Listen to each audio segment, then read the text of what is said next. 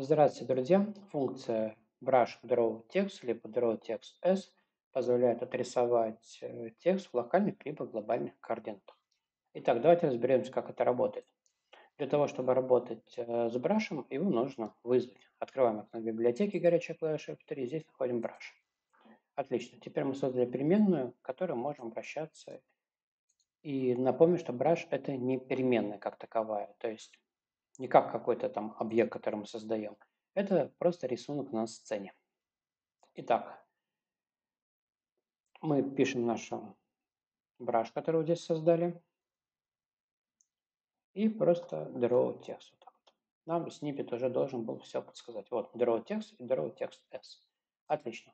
Выбираем первый и смотрим, что у нас получается. Мы увидим текст на экране по координатам 0, 0.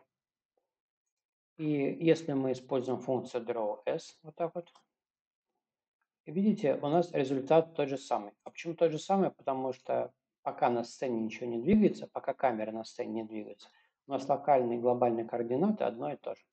Давайте вернем эту команду на место и сделаем так, чтобы у нас что-то на сцене двигалось. Например, двигался персонаж, то есть он у нас и так двигается. Повесим на него камеру, чтобы на сцене все смещалось. Для этого я раскомментировать эту команду, и она нам включает камеру. Отлично. Камера повесилась на персонажа. И смотрите, этот текст по координатам 0,0. И это именно 0,0 игровой. Вот это вот. То есть именно отсюда у нас нарисован фон. Вот это точка нуля. Не вот это окно браузера, а точка нуля на сцене. Это глобальная точка. И вот этот текст, естественно, исчез.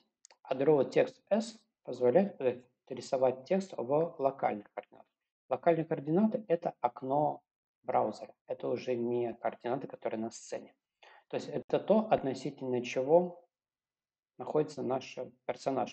То есть относительно нашего персонажа все объекты, обратите внимание, елки же уходят на сцену, значит технические координаты изменяются относительно этого персонажа. Это будет как раз таки локальные координаты. Вот так вот нажимаем и обратите внимание, текст уже улетел наверх. Почему? Потому что 0.0 теперь стало углом окна открытого браузера.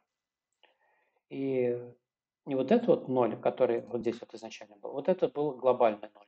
Вот откуда все объекты создавать. А теперь ноль, вот а так на браузер отчитывается. И этот текст всегда будет там. Считать это был какой-то подсчет очков, например. Таким образом можно выводить подсчет очков. Вот сюда, в этот текст, передавать не текст, а какую-то переменную со значениями, например. Ну что, друзья, на этом я завершаю этот видеоурок. Спасибо за внимание. С вами был Александр Птичкин, основатель образовательного портала multirocket.ru и разработчик игрового движка PointJS. До встречи в новых видеоуроках. Пока.